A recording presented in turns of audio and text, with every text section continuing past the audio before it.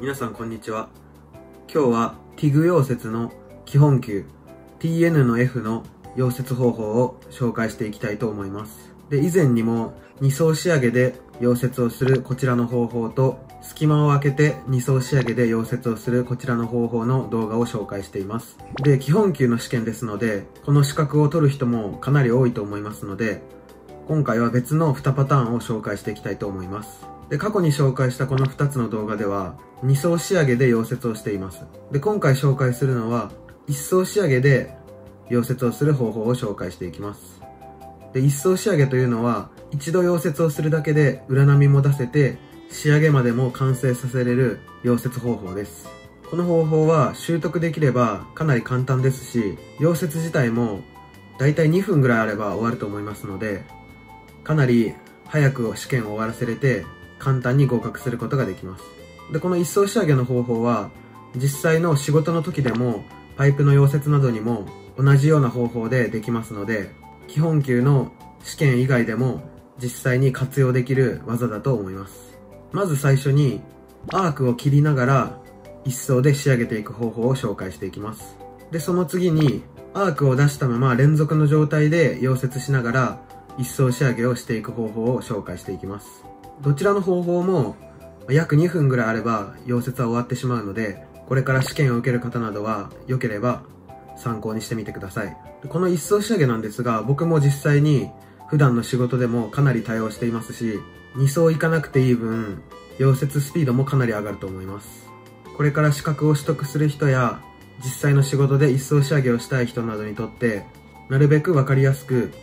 一層仕上げの方法を解説していますので、よければ最後まで視聴してみてください。それでは実際に溶接映像を見ていきたいと思います。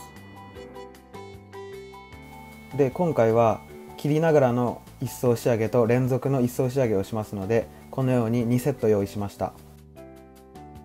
で、タングステンの長さはだいたい 6mm ぐらい出した状態で溶接をしていきます。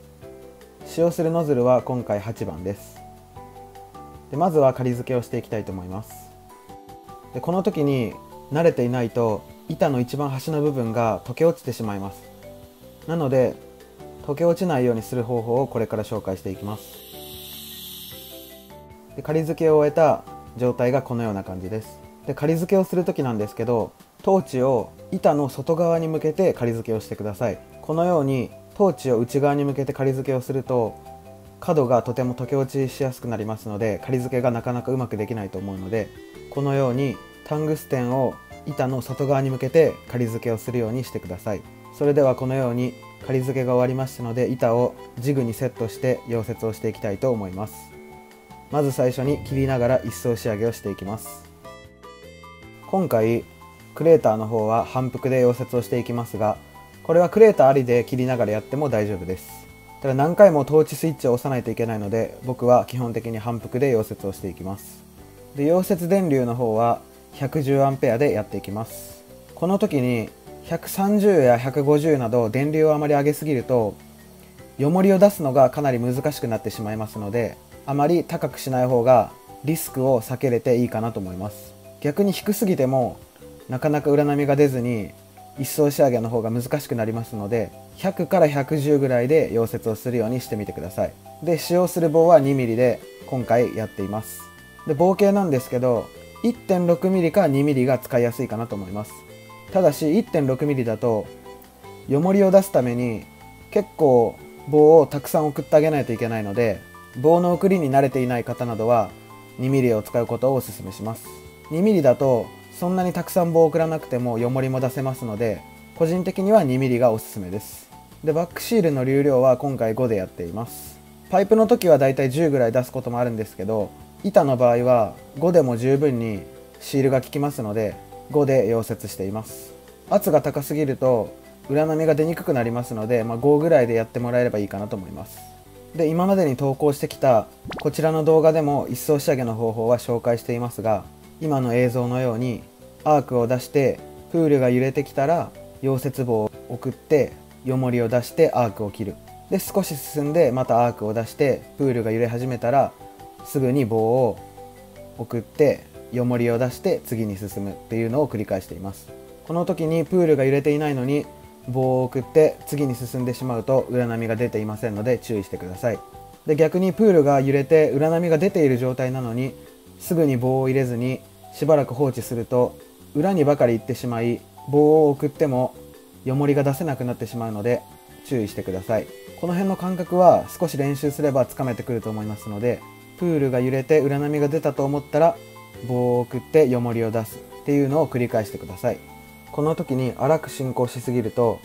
裏波がなかなか綺麗に出なかったり細かく進行しすぎると裏波が出過ぎてしまう可能性がありますのでこの後にお見せする完成した溶接ビードを参考にそれぐらいの進行幅で溶接をしてみてください。はい。これが切りながらの溶接方法で一層仕上げを終えたビード外観です。このような感じでよもりも出てますしある程度綺麗な溶接ができています。で溶接時間はクレーター処理も含めて2分30秒でした。やはり2層仕上げと比べると倍以上早いです。で進行具合ですが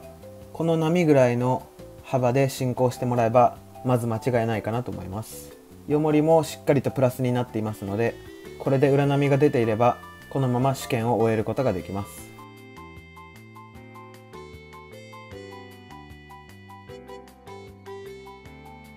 でこちらが裏波の状態です。一層仕上げでもこのようにしっかりと裏波を出すことができるので裏波を出してよもりも膨らませればとても溶接が終わるのも早いですし簡単ですのでよければこちらの一層仕上げの方法も試してみてください。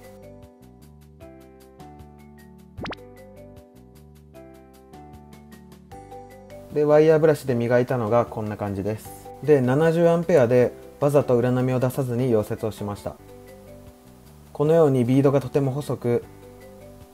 よもりもしっかりと膨らんでいて裏波が出ていない状態になっていると思いますのでやはり下げすぎないように注意してください。で先ほどの切りながらの溶接方法での手の動かし方を紹介していきます。今回先ほどの板を捨ててしまったので前回紹介したこちらの2層仕上げの板を使用して手の動きを紹介していきます。で今回の進み幅ですがだいたいアークを出してない状態で見るとこのくらいの進み幅で溶接をしています。これが粗すぎたり細かすぎてもダメなのでだいたいこれぐらいを目安に溶接をしてみてください。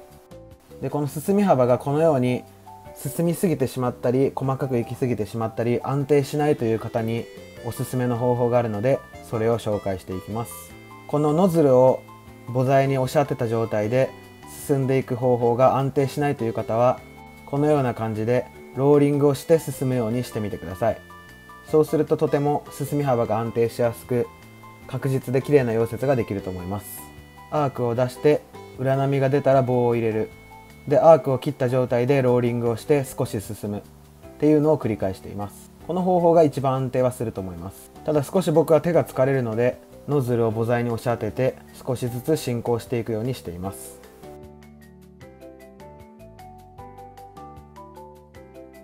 でトーチ角度や棒の入れ方などはこのような感じです。プールが揺れて裏波が出たと思ったら棒を入れる。というのを繰り返してこのような感じで棒を入れています。トーチ角度もだいたいこれぐらいです。離しすぎたらダメなのでアーク長はなるべく均等になるべく近くで保つように意識して溶接をしてみてください。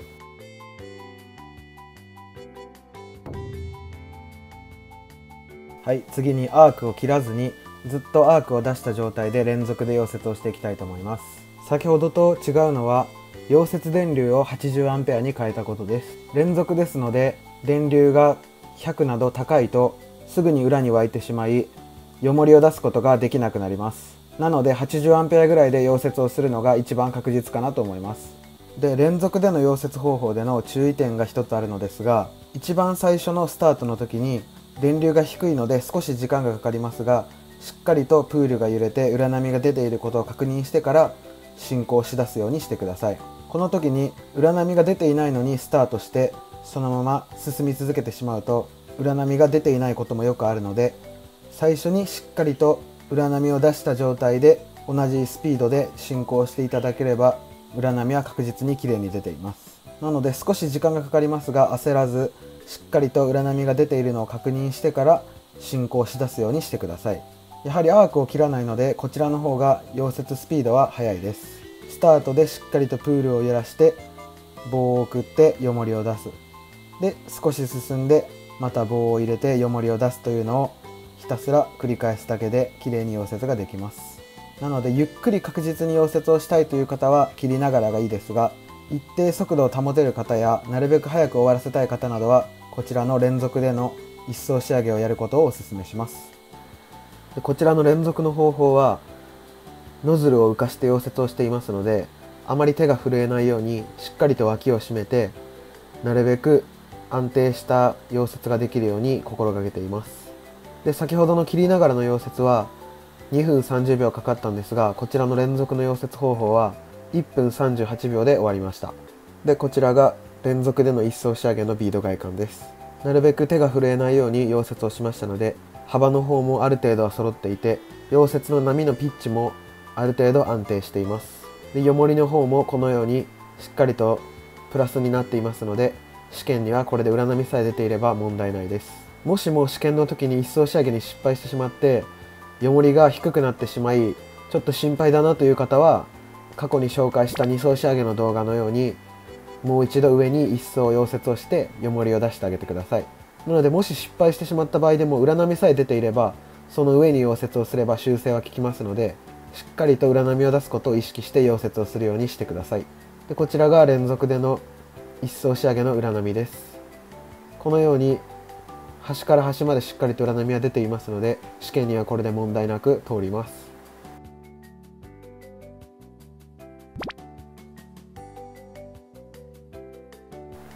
で連続での手の動きですがこのようにノズルを浮かして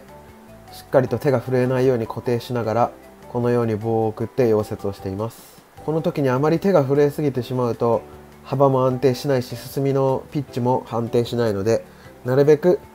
一定の速度を保てるように気をつけながら溶接をするようにしてください。で今回 80A で溶接をしていますが電流を上げすぎてしまうともっと進行速度を速めないといけなくなりますので